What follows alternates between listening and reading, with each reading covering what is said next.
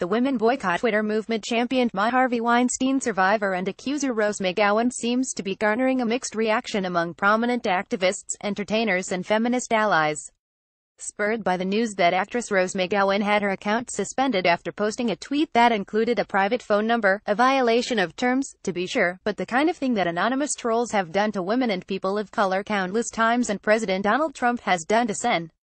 Lindsey Graham The platform without punishment, a movement arose for feminists, male and female alike, to stop using the site on Friday, October 13, 2017.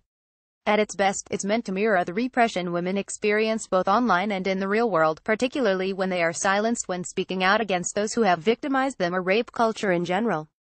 McGowan is just an exemplar of that vicious tendency.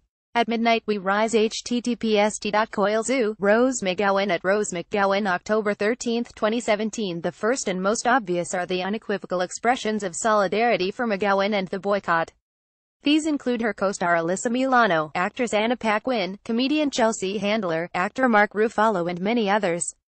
Is stand with Rose, at Rose McGowan and all the other victims. Women boycott Twitter tomorrow. Https t.cox text fm2cm, Anna at Anna Paquin October 13, 2017 Tomorrow I follow the women. Women boycott Twitter, Mark Ruffalo at Mark Ruffalo October 13, 2017 Women boycott Twitter because we deserve it, and so does Twitter. Shame on you, Chelsea Handler at Chelsea Handler October 13, 2017